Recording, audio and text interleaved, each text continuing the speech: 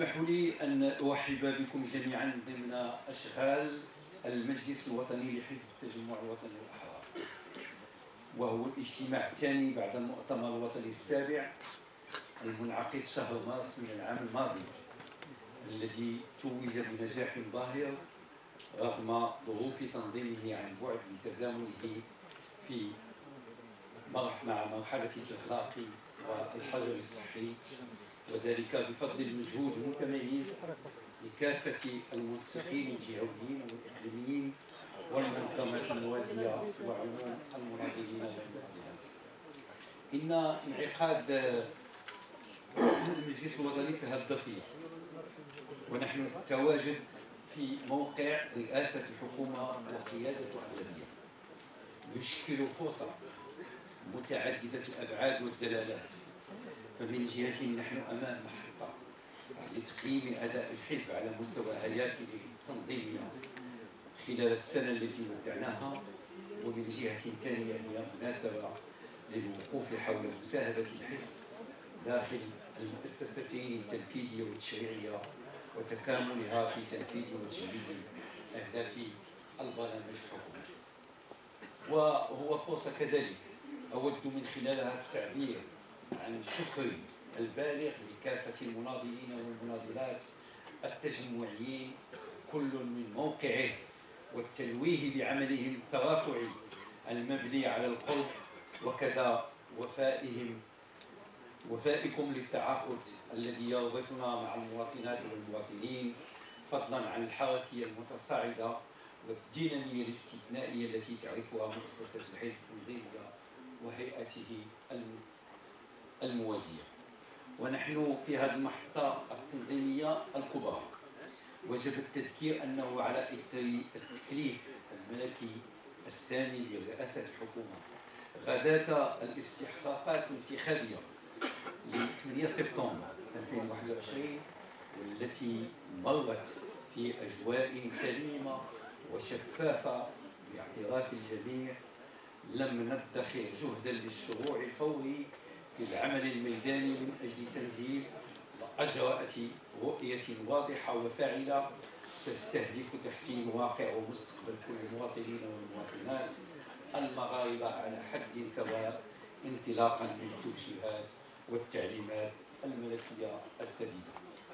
وحيث أسرعنا بتشكيل أغلبية حكومية قوية بانسجامها وتضامنها حماية للمواطنين من تبعات هدر الزمن الإموي في الصراعات والهواجس السياسوية الفارغة كما اخترنا المضي فيها التوجه عبر إقرار حكامة تدبيرية تمكننا من الأخذ بزمام الملفات الأساسية للدولة بالفعالية وبالسرعة المطلوبة.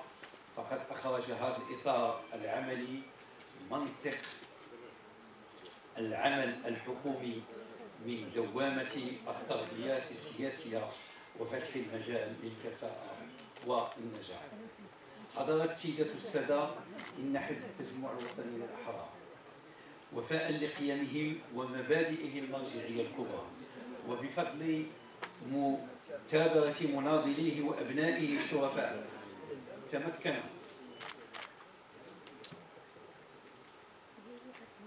تمكن من قيادة المشهد السياسي الوطني في ظرفية جد متميزة من تاريخ بلادنا مطبوعة بكثير من الآمال والتحديات والصعاب حيث لم يكن أمامنا سوى الاجتهاد الخلاق والسعي نحو خلق قيمة سياسية مضافة حاملة لأحلام الشباب والنساء مجسدة لتطلعات الأجيال القادمة وقد تم تتويج هذا الطموح التجمعي بعرض سياسي وانتخابي غير مسبوق.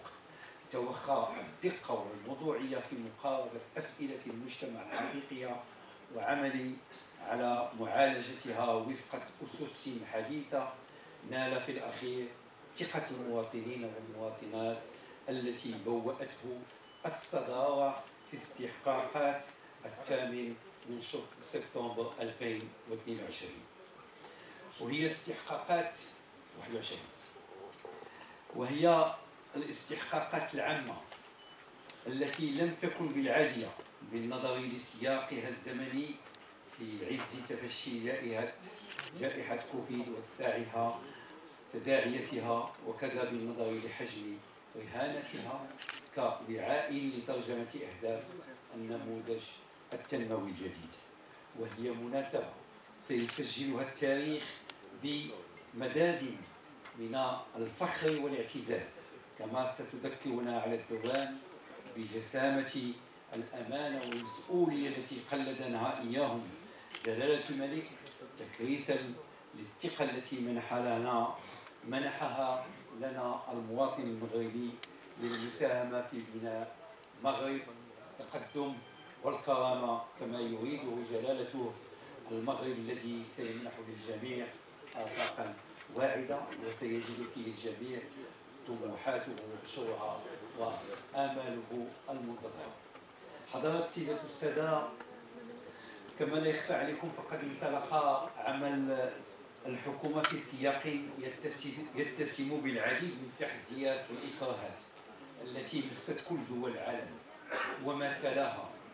من توترات جيوسياسية تحيطها الكثير من التعقيدات أهمها تداعيات الأزمة الأوكرانية وتوقعات تباطؤ النمو العالمي لأكبر ثلاث ثلاث اقتصادات في العالم الولايات المتحدة والاتحاد الأوروبي والصين.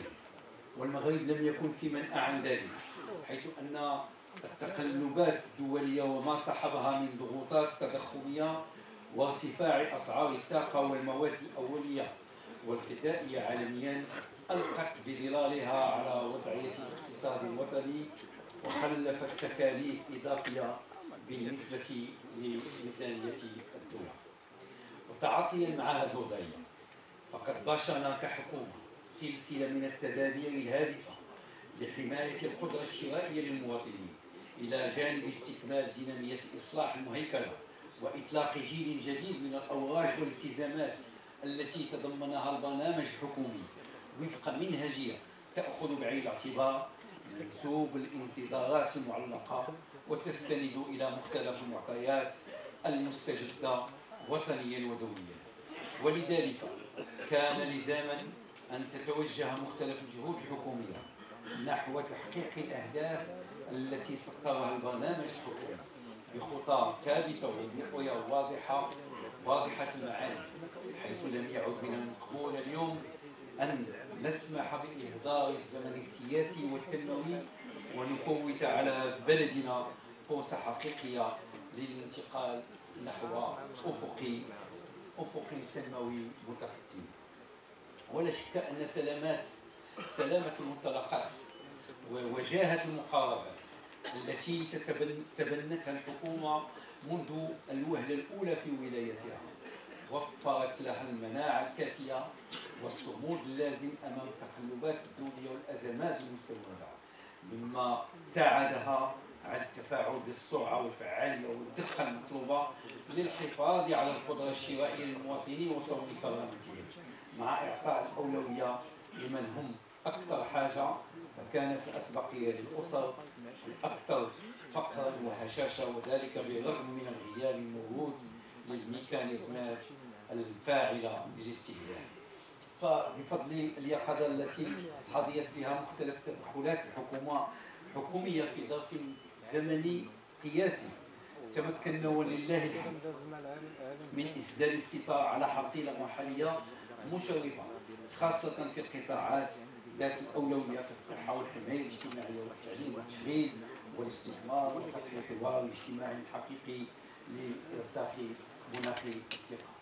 وهو ما سيؤهلنا بأغلبية متماسكة ومتضامنة بين كافة مكوناتها للمساهمة بفعالية في بناء مغرب التقدم والكرامة وتعبيد مسار التنمية وطنيا ومحليا ونعتبر اليوم إحنا كنعتزوا اليوم برصيد حكومي ممتاز وفق التوجيهات السامية ديال سيدنا الله يسر حيث استطعنا في ظرف السنة الأولى بلوغ واحد النتائج اللي هي مهمة. نعطيكم بعض الامثله قدرنا ننجحوا اولا قدرنا ننجحوا في تفعيل والتغطية الصحية الإجبارية وفق الأجندة الزمنية اللي حددها جلالة الملك عبر رفع النسبة ديالها من 40 إلى 100% خصوصا بعد إدماج حوالي 4 الملايين ديال الأسر من الفئات الهشة لزيكس غاميديس واللي غادي تكلف الدولة بالأداء ديال المساهمة ديالهم ثانيا قدرنا في السنة الأولى أننا نوضع أسس عرض صحي جديد. قادر يستجب للحاجيات الوطنية. وعطينا القطاع كل الموارد والتحفيزات اللي غادي تسمح ليه بالارتقاء إلى المستوى المنشود بشكل كيضمن المساواة بين الجميع وكذلك الجودة ديال الخدمات ثالثا الإيمان ديالنا بالمدرسة العمومية وأولويتها في المستقبل ديال التلميذ المغربي. هو اللي مكننا مكننا من مباشرة إصلاحات عميقة في قطاع التعليم حيث وضعنا خارطة الطريق طموحة في أفق 2026 اللي من خلالها. غادي نردوا الاعتبار المدرسة العمومية والمهنة ديال التدريس وغادي نقدروا نساهموا بفعالية في تحسين جودة التعلمات والمكتسبات الدراسية والارتقاء بظروف الاشتغالية. رابعا تمكنت الحكومة من العمل على إنعاش فوري لسوق الشغل لمواجهة آثار الجائحة عبر خلق برامج شغل مبتكرة كأواش وفرصة ودعم خيار المقاولة لدى الشباب. خامسا حضرنا بفضل الحمد لله اليقظة ديال المصالح الحكومية. ندعموا القدرة الشرائية للمواطنين وفعلنا العديد من الإجراءات المالية والإدارية لحماية المواطنين من تقلبات الأسعار وضمان التمويل ودعمنا كذلك المهنية ديال النقل وقطاع السياحة وعدد من القطاعات اللي كتدور سادسا بالنسبة لأهمية الاستثمار كرافعة للإقلاع الاقتصاد الوطني. والتنموي هذا الموضوع عطينا واحد الأهمية وواحد المتابعة كبيرة داخل الحكومة. وقدرنا في السنة الأولى باش نحسموا في إخراج ميثاق الاستثمار التي طال الانتظار ديالو أزيد من 20 سنة مناخ الأعمال ديال بلادنا كوجهه استثمارية. قادره باش تحقق الرياده في المشاريع الكبرى لخلق فرص الشغل للشباب والتركيز على القطاعات الواعدة على المستوى الدولي من دون ما نساو اتخاذ تدابير وتحفيزات لفائدة مغاربة العالم باش نسهلوا لهم الفرص ديال الاستثمار في بلادهم تنفيذا لتعليمات سابعا نجحنا مع كل الشركاء الاجتماعيين والاقتصاديين في وضع إطار منظم لمأسسة الحوار الاجتماعي وتعميق الحوارات القطاعية وخرجنا باتفاقات جمع اجتماعية مهنية اللي هي شاملة. غادي تساهم في إرساء إرساء مناخ ديال الثقة وتعزز التواصل بين مختلف الفاعلين المعنيين في القضايا الراهنة والمستقبلية. أخيرا فكل الاصلاحات الكبرى اللي باشرناها داخل الحكومة. غادي تساهم مما لا شك فيه في تعزيز التوازنات المالية. والماكرو الاقتصاديه للمملكه وغادي تمكننا من الحفاظ على مستوى عالي من الثقه لدى المؤسسات الدولية. مناضلات ومناضلي الأحرار. من حقنا جميع كأحرار ان نكونوا فخورين بالحقيقة بهذه الحصيلة. وخاصنا جميع ندافعوا عليها وحنا بوجهنا احمر لأننا بالفعل في بعض المجالات خصوصا الاجتماعية قدرنا نحققوا في ظرف سنه واحدة داكشي اللي ما تحققش في واحد 10 سنين. هذا الشيء لأننا كنعتبروا راسنا في تعاقد مع المغاربة اللي داو فينا وفي أغلبية الثقة ديالهم. وحاسين بالمسؤولية ديالنا أمام صاحب الجلاله أمام الشعب المغربي ومازال غادي نواصلوا وقدامنا ربع سنين أخرى وأكثر إن شاء الله. ومازال لأنه حقيقه ما إحنا إلا في بدايه المسار اللي هو مسار التنميه وبالرغم من المكتسبات العديدة اللي حققناها في السنة الأولى وهذا الشيء بالرغم من المكتسبات العديدة اللي حققنا في السنة الأولى من الولايه فقد أبت الحكومة الا أن تضاعف الجهود لتنزيل مختلف تعهداتها. من خلال تفعيل مجموعة من الإجراءات اللي كتصب في مصلحة بلادنا وفي تضمينها قانون وضمناها في القانون ديال المالية ديال 2023 وهو الذي سيشكل انطلاقا حقيقيا لتنفيذ البرنامج الحكومي.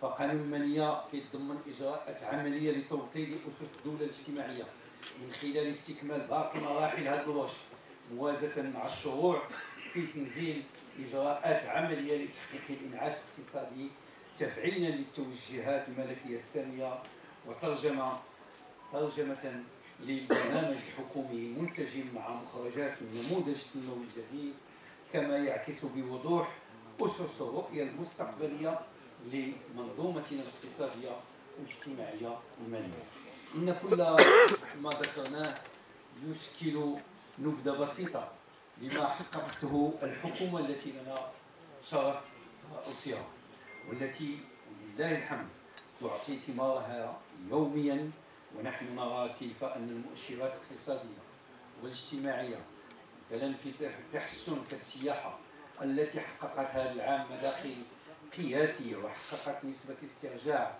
تصل إلى 12% إضافة إلى ارتفاع قياسي للصادرات المغربية في كافة المجالات دون إغفال نجاح بلادنا في التحكم في نسبة التضخم التي تعد اليوم أقل ما هو مسجل في بلدان الاتحاد الأوروبي وأمريكا. هذه منجزات كتجعلنا نمضي في مسار الدنيا بتفاؤل كبير ولعل الأواشي الحكومية القادمة غدا تعطي زحما زخما عفوا أكبر من قبيل أواش إصلاح الإدارة وإصلاح منظومة العدالة وإصلاح قانون الشغل وإصلاح منظومة التقاعد وغيرها بالإضافة إلى تفعيل بالإضافة إلى تفعيل سجل الاجتماعي الموحد الذي سيمكن في آخر هذه السنة من تعميم التعويضات العائلية على الأسر المغربية وتحقيق عدالة اجتماعية فعلية بعيدا عن مختلف أشكال الانتقائية والانتهازية السياسوية. مناضلي شباب ونساء الأحرار إن الأضواء الطلائعية التي يلعبها التجمع الوطني للأحرار للمساهمة في رسم مغرب التقدم والكرامة هي نتيجة طبيعة طبيعية نتيجة طبيعية للاصطفاف المستمر لناظريه ووقوفهم إلى جانب القضايا اليومية للمواطنين والإجابة على أسئلتهم المطروحة والحفاظ على مكانة الحزب كفاعل في التحول الديمقراطي والاجتماعي التي تعرفها بلادنا. وفي هذا الإطار كتجدر الإشادة بمنتخبي الأحرار وكافة هياكل التنظيمية والمواجهة التي كان لها بإشراف من المنسقين الجهويين المحليين دور هام في النتائج المحصلة وينتظرها دور أهم في المحطات القادمة فالجميع مدعو للانخراط في دينامية الأحرار ومواصلة العمل داخل ميدان تكريسا لسياسة القرب التي تميز عملها. فالحزب يجدد التعبئة ويشكل من تنظيماته الحزبية والموازية مجالا لعمل القواعد حتى يتأتى تأطير نضالها السياسي الذي يشكل قوة اقتراحية وترافعية ناجحة. ولقد اقتنعنا منذ البداية بأهمية تنظيمات الموازية ولم نعتبرها أبدا رقما تكميليا أو فضاء للتأتيت بل آلية لاستقطاب الكفاءات وتفعيل سياسة القرب والإنصات للمواطنين ورهانا حاسما عبر تمكينها من الموارد والدعم التنظيمي والسياسي. وها نحن اليوم نجني ثمار هذا الخيار التنظيمي خاصة عندما يتعلق الأمر بالفيدرالية الوطنية الشبيبة التجمعية التي تمكنت في وقت قياسي من تجديد هياكلها على المستوى الجهوي بعد المؤتمر الوطني السابع ونجاحها خلال شهر أكتوبر الماضي في عقد جامعتها الصيفية بمدينة أكادير التي عرفت مشاركة أزيد من 5000 شابة وشاب ممن عبروا عن انخراط قوي في النقاش الهادف وأكدوا أن هذا الملتقى الشبابي مشروع فكري. قارب مجموعة من القضايا ذات الراهنية مكرسين مكانة الجامعة الصيفية لشباب الأحرار كأكبر ملتقى شبابي في المملكة سواء من حيث عدد المشاركين أو من حيث التأطير.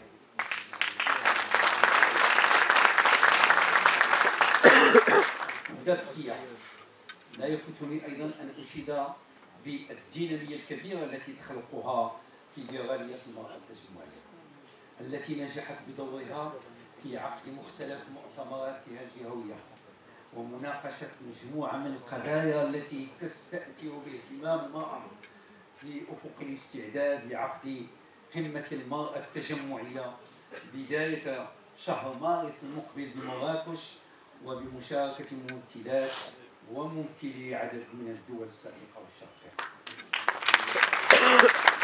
كما ستمكننا اليوم المجهودات التي بذلتها فيدرالية المرأة التجمعية من بناء تصور واضح وموضوعي لمقاربة الحزب لمقاربة الحزب ومواقفه اتجاه الجيل الجديد من مدونة الأسرة كما تحدث عنه صاحب الجلالة.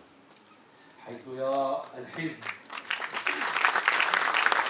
حيث يرى الحزب في قضايا حقوق المرأة من ناحية العدالة والتمكين الاقتصادي مدخلين أساسيين لتتمين أدوارها الاجتماعية والاقتصادية والدفع بالتنمية. واليوم نفتخر بما حققته المرأة المغربية من إنجازات ولعل نجاحات نساء التجمع ممن يتقلدن مناصب مسؤولية سواء في الحكومة أو في التدبير الترابي. خير دليل على ما تستطيع المرأة المغربية أن تحققه